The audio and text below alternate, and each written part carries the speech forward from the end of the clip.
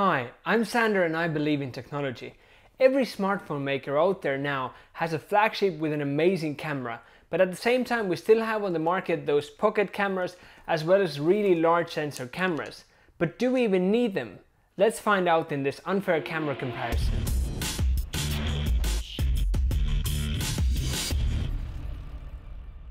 I did a similar video about 3 years ago when I compared iPhone 6 to the Sony RX100 Mark III and the Sony a7S full frame camera. Since then the cameras have come a long way, especially the cameras within smartphones. For this video I've chosen some of the best smartphone cameras out there in my opinion, which is the Google Pixel 2 XL as well as iPhone 10 and put it against the updated Sony RX100 Mark V, which is their latest greatest pocket camera, and the Sony recently released a7R Mark III, which is an amazing hybrid for photos and video. In this totally unscientific, unfair camera comparison, we're to put them head on each other and compare them for field of view, for dynamic range, for detail, color, processing, as well as low light performance and look at the slow-mo video as well as 4K video and also I've got some samples in the end to test yourself to see if you can identify the differences. But what makes a great camera or what makes a great image? There are three important components we need to take a look at. First one is the sensor. Inside the Sony a7R Mark III is a full frame 35mm sensor. That's the sensor that every lens focal length is compared against. That sensor inside is about 7.4 times larger than the one in Sony RX100, which is a 1 inch type sensor. And once again, if you compare it to the two sensors within the smartphones, in this case iPhone 1 over 3 inch sensor and 1 over 2.6 for the Pixel 2 XL camera, these are about 6.7 times smaller than the one in RX100. The smartphones have 12 megapixels on each of their sensors, while the RX100 includes 20 megapixels and the Sony a7R has the behemoth 42 megapixel sensor. Even the size of the pixels themselves is two times larger on the A7R Mark III than it is on RX100 and again two times larger on RX100 than it is on smartphones. So that's the area of one pixel to record the light coming into the sensor. As a fun fact, all of the sensors in these cameras, including the iPhone 10 and the Google Pixel 2 XL are made by Sony. The second important factor for a good image is lens that gives you the field of view and also the aperture, how much light can get into the camera. The lenses for the smartphones are fixed, meaning you cannot zoom optically to go closer to the image or get a wider field of view. So the one in Google Pixel 2 XL is 27 millimeters at 1.8 aperture, and the ones in iPhone, which are two, are 28 millimeters at 1.8 aperture, and the 56 millimeters, so twice the focal length, at 2.4 aperture. Sony RX100 gives you a zoom lens with between 24 to 70 millimeters and f1.8 to f2.8 aperture, while the Sony a7R Mark III is a mirrorless camera with interchangeable lenses. So you can really adapt any other brand lenses or use Sony brand lenses in front of it. So you can be anywhere as wide as, for example, 12 millimeters or even like going to fisheye, or you can zoom all the way into a telephoto in hundreds of millimeters. That really comes down to the budget, how much you can afford and what you actually need. In this test, I was mostly using the 28mm f2 in order to be comparable to other cameras, as well as the 16 to 35 f4 lens. The sensor size and the lens configuration also show in the physical size. While you can still fit obviously a smartphone in your pocket and the RX100 also fits into your pocket, the A7R in no way fits into your pocket. You need to have a separate bag with your lenses and the body and it's a heavy weight to carry as well. The third and really important area that can make or break your image is the software or image processing that's happening inside the camera. And that's where smartphones have come a really long way. They've got now processors inside that are faster than your computer or even dedicated chips for image processing. They're now using AI and machine learning in order to learn from your composition how much sharpening, depth of field, or detail, contrast, sharpening they should be applying to your images and they keep doing so on the chip as well as in the cloud in tens of thousands of images in order to squeeze as much as possible out of the tiny sensor and the fixed lens in front of it.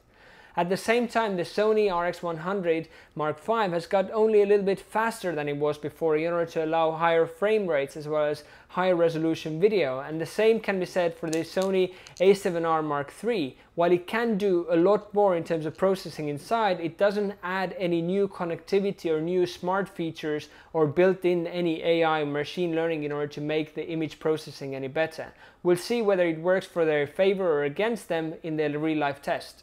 But before we do that, it's important to understand that these cameras are very different in their capabilities and also price range. While the iPhone 10 and the Pixel 2 XL and the Sony RX100 Mark V all cost about $1,000, the Sony a7R Mark III costs $3,200 plus any lens you need to attach to it, which will cost you another 500 to several thousands of dollars.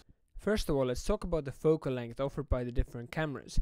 In this case, the Sony a7R has a range of professional lenses available, so shows you that even at 16mm you can get corner to corner sharpness and non-distorted image. The same applies for a range of telephoto lenses available. Here's an example at 110mm.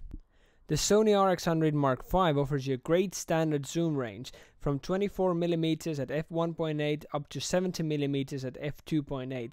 It doesn't give you anything that the professionals need for landscape and architecture like the super wide angles or the super zooms that are used in sports, but it's a great day-to-day -day lens.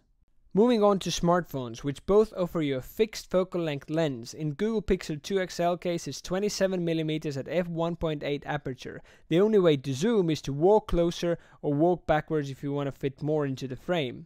Very popular solution these days is also to use external lens adapters. And one of the highest quality makers out there is Moment Lens, which offers you a wide angle lens that gives you twice as wide image, about 18 millimeters, and while it looks great at overall, when you zoom in, you see that the corners are widely distorted and also very soft. And that's also something you have to keep in mind when you're using these lenses. They're for casual use and definitely not for any professional purposes. Same applies to the telephoto option, which gives you brings you two times closer and once again if you look at the image itself it looks good and overall but when you zoom in you see that comparing it to the normal focal length at 28mm and digitally zooming in it doesn't give you that much sharper image and more details. Apple, like many other smartphone makers this year, released a phone with two lenses, having the standard 28mm at f1.8 aperture and the telephoto lens at 56mm but with f2.4 aperture, so slightly smaller and lower quality. But the good thing is that you don't have to use external adapters and lose the quality in images. And here you also have all of them side by side. For this test purposes, I've used the 28mm as a standard across in order to make the images comparable at a similar focal length. Now moving on comparing the actual image quality and the dynamic range. The first one is Sony a7R and it's shot with raw and exposed to the sky. As you can see it doesn't really show anything that happening in the shadows but the great thing is you can shoot raw you can bring those shadows back straight away and see what's happening there. You could also shoot three different exposures and combine them to HDR later in post productions but none of that is done in the camera itself. Sony RX100 again out of the camera doesn't show you all of the details it doesn't combine the different exposures in the camera but it does a great job as you're able to also shoot raw to bring those shadows back in post production. And when looking at the Pixel 2 XL you can see the camera is trying to do a lot of guesswork for you and strongly exposes to the sky thinking it's a sunset while it's actually in the golden hour and doesn't really show you what's happening in the shadows. And even if I try to push it in post the picture really falls apart and you don't really get any color out of the shadows iPhone in this case was a true master in dynamic range combining those different exposures straight out of the camera, especially when you put them side by side even with A7R only the developed image from A7R looks as good as the iPhone 10 obviously with much higher resolution and much more to play with but the Pixel 2 shows you that they're trying to do a lot of guesswork but doesn't really show fully in the results and the image breaks if you try to change anything or push anything in post. Here's another example of how good of a job iPhone 10 is doing straight out of the camera in terms of dynamic range and combining those different exposures. It really looks natural and super nice, especially if you put it side by side with the RX100, which straight out of the camera needs a lot of work to make it look very natural. And now when we zoom in and just look at the bush, for example, you can see how the uh, Pixel 2 is really squishing the details in the shadows and how you can still see the details in the A7R as well as iPhone and the RX100. On the other hand, iPhone 10 image looks much softer compared to the Pixel 2 XL. Pixel 2 very much has the same sharpness straight out of the camera as you can see from the A7R Mark III as well as RX100 Mark V. Moving on to the color rendering inside the cameras. The A7R image looks really well balanced, colorful, showing you the blue sky as well as the colorful background. The RX100 from the camera shows you much more saturated image by default. If you look at the Pixel 2 XL, it somehow looks really saturated in the background but faded in the sky where the sky almost looks gray. So iPhone 10 gives you a very similar balance as we saw on the A7R. Especially now when you put them side by side, you see the difference that the Pixel 2 really is trying to do a lot of the guesswork and the RX100 is much more saturated while the A7R and iPhone 10 are really giving you the best balance in color in terms of representing what we see in real life. Moving on to the portrait mode, and that used to be one of the biggest reasons for getting a large sensor camera. Just look at the Sony a7R full frame image at f2.0 aperture, it just looks buttery smooth in the background and very clear for the object. The Sony RX100 slightly smaller sensor is still able to produce that effect, not to that extent though. If you look at the Pixel 2 XL without the portrait mode, it doesn't look as interesting at all. If you turn on the depth sensing pixels and it will create that map and cut out the objects from the background, it just looks buttery smooth and really really good. iPhone is creating the same effect using the telephoto lens to create the portrait image and add in the depth map using the normal main camera. And the result here is also very very good. I don't think it's as good as Pixel 2 but it's very very nice. And now all of them side by side, you can really see how good of a job the Pixel 2 XL is doing, almost as good as the A7R Mark III, and how iPhone is really following them, and the RX100 can't really produce that effect because it doesn't have the software built in to do that. The only challenge is that as Pixel 2 and iPhone are creating that effect in post processing, they're actually losing some of the details, for example, the hair on the left hand side, and the image might look a little more artificial. When looking at the low light sample here, this is definitely an area where the largest sensor A7R is doing a much better job, retaining the details in the shadow areas as well as maintaining the highlights. The RX100 is doing also a good job even though not great straight out of the camera and needs some post processing to make it work. The Pixel 2 looks most pleasing straight out of the camera, even though it's actually squishing a lot of the details in the shadow areas iPhone looks really soft and more noisy than the Pixel 2 XL, but at the same time more balanced and retains the details in shadows. Especially when you now put them side by side, you see how Pixel is really squishing the details in the shadow areas where A7R, RX100 and iPhone 10 are retaining it, even though in a much softer form in iPhone 10. Moving on to video and looking at slow-mo capabilities first, at Sony a7R which is only able to do 120 frames per second at full HD and that's definitely a weakness for the camera. The RX100 is able to do 240 frames per second at full HD and also slow down to 480 frames per second. That's a camera like Phantom that used to cost $60,000 which can do that.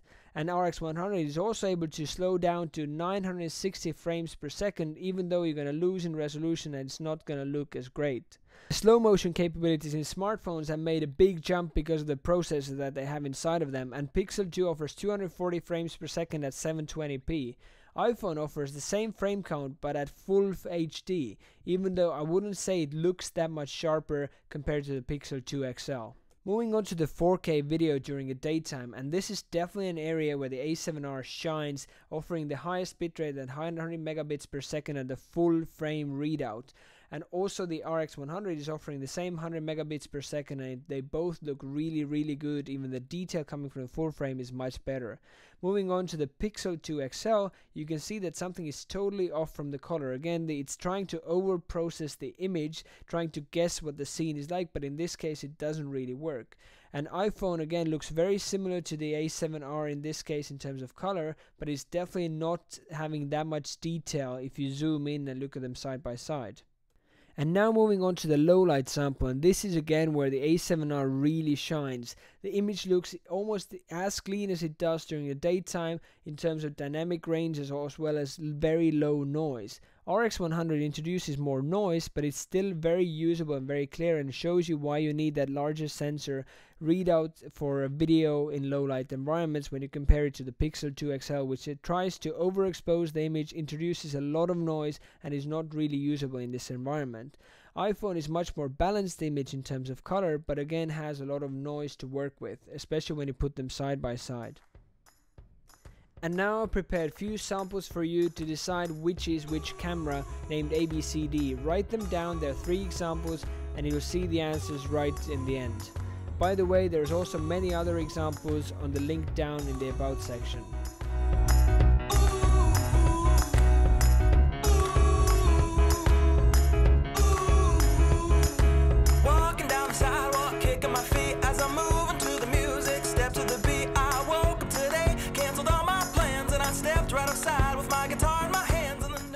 I know it's not easy, but I hope you guessed them right. A, B, C, D, exactly in the same order as we looked at them before. So to conclude, I believe that you only need the large sensor camera when you need the interchangeability of the lenses and you can't use your feet to zoom.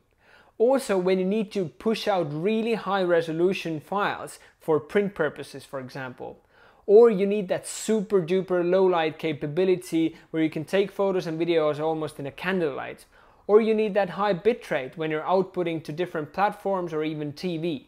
But the cameras from different categories are actually now very very close in well lit environments and I would truly believe that you can get a result that is about 80% there with a little bit of editing.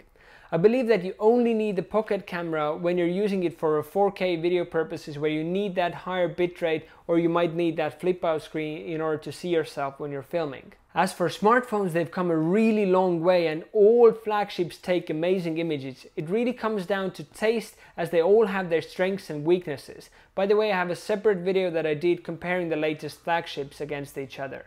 I truly believe that we're finally getting close to the time where the best camera is the one you have with you with no compromises to the quality. Thank you very much for watching, I hope you enjoyed this video. If you did, please give it a thumbs up and let me know in the questionnaire here which camera surprised you most in the test and also leave your opinions down in the comment section below.